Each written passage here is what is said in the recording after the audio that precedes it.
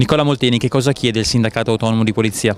Il sindacato autonomo di polizia è un sindacato che è in prima linea, da un lato per garantire sicurezza ai cittadini, dall'altro lato per garantire dignità alle forze dell'ordine. Siamo di fronte al peggior governo della storia di questo paese, un governo che ha smantellato la sicurezza, un governo che chiude 250 presidi di polizia, un governo che chiude 70 presidi della polizia postale, chiude 74 presidi della polizia di frontiera, è il governo degli svuotacarceri, è il governo delle depenalizzazioni, è il governo governo di Mare Nostrum, è il governo dell'invasione, è il governo degli indulti mascherati. I cittadini hanno paura, i cittadini vogliono più sicurezza, più sicurezza significa più libertà.